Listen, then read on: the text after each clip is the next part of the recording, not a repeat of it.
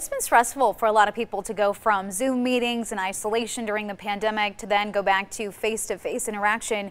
But life after the pandemic now has some people hoping to lift their spirits with an actual facelift. 13 Action News anchor Tricia Kean spoke with a local doctor who says business is booming and expected it to get even busier. It fires a laser very fast and for a very short duration. Dr. Christopher Choi says patients are looking to get rid of wrinkles, sun damage, and more by turning to cosmetic services like lasers and microneedling.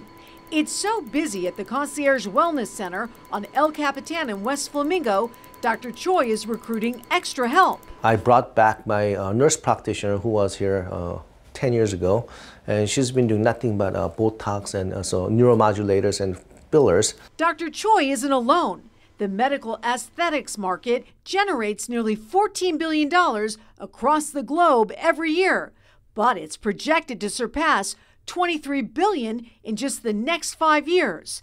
This report credits the growing popularity of minimally invasive and non-surgical procedures for the spike in demand, but it may also be due to the pandemic. After the COVID, it seems like as people are coming out of, you know, coming out and uh, socializing more, they wanted to treat themselves. A recent survey says many are scrutinizing their faces now that virtual work and social circumstances have them regularly appearing on Zoom calls and video chats. And the number one reason for cosmetic surgery in 2022 is to look younger after aging caused by stress during the pandemic. I feel, you know, a little bit like a sagging here and neck area and chin and then spots around your eyes, and I mean, it's very noticeable. Jeannie Williamson says she was feeling self conscious seeing more people face to face again.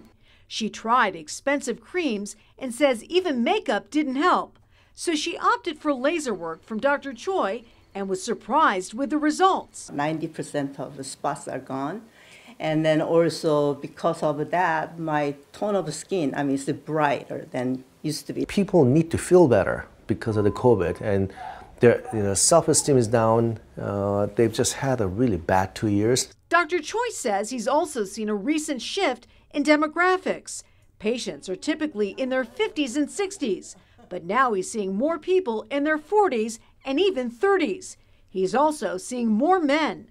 I'm now doing uh, Potenza with exosomes, which is uh, microneedling into the face uh, for collagen regeneration and for skin tightening and uh, freshening of the outer layer of my skin. Mark Black has gone under the knife, but says he likes the quick recovery that comes with these non surgical services. The amount of downtime and involvement on my end uh, is minimal. I'll come in here for 30 minutes, it's over. When it's all said and done, it's no pain and all gain for patients as well as doctors. I don't see it as slowing down. I think it's going to get even busier.